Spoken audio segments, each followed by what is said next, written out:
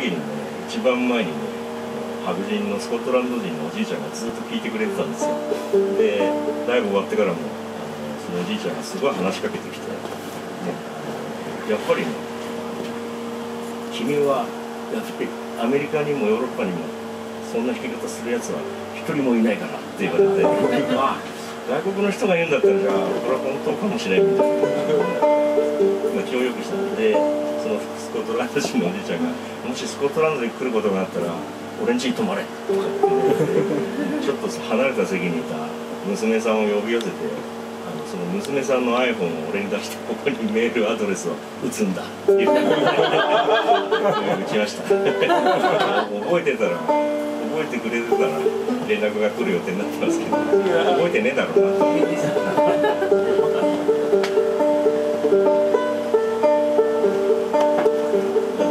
パイグラスっていうか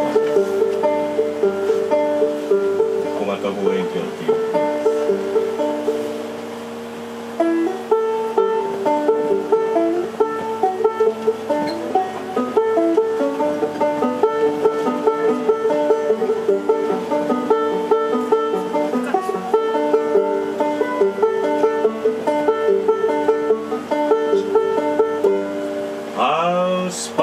パイグラスってのは素晴らしい道具だ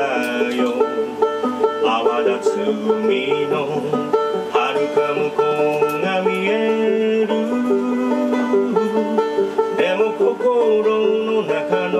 見たいものが見えない。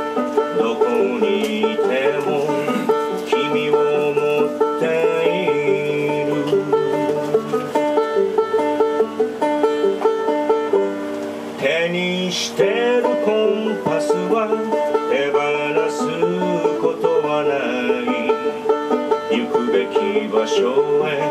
すぐに導いてくれる。でも心が求める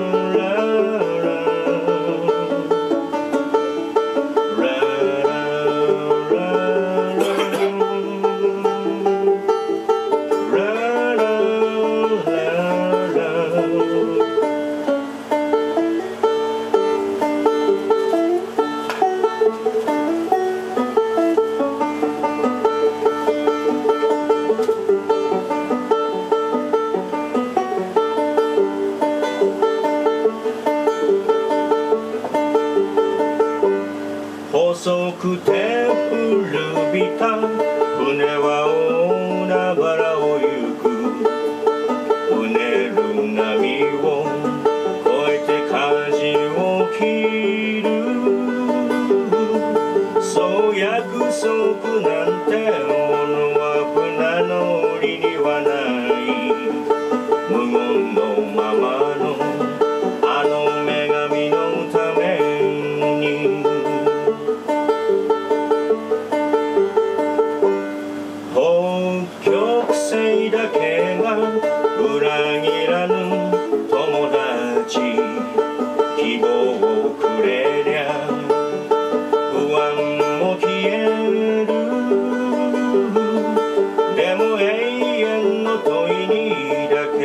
答えてくれない。